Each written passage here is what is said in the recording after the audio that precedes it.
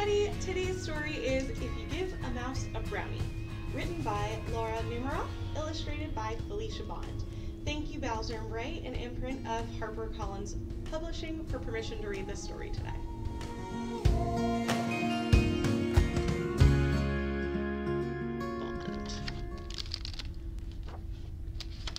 If you give a mouse a brownie. If you give a mouse a brownie. He's going to ask for some ice cream to go with it. When you give him the ice cream, he'll ask you for a spoon. He'll start drumming on the table. Drumming will get him so excited, he'll want to start a band. You'll have to play guitar.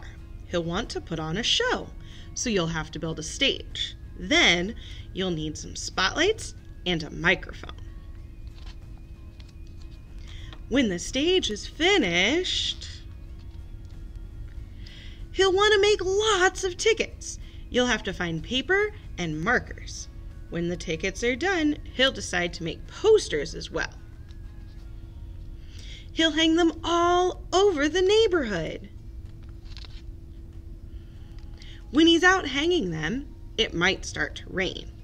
He'll fold some posters and make a little boat. Then he'll sail it in a puddle. He'll get so wet he'll start to sneeze.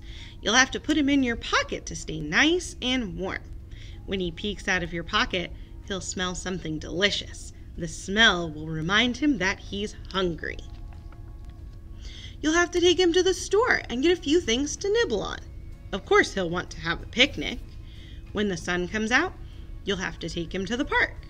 While you're setting up the picnic, he will see a playground. He'll jump on the swings. He'll go as high as he can. When he looks up at the sky, he might notice a big white cloud.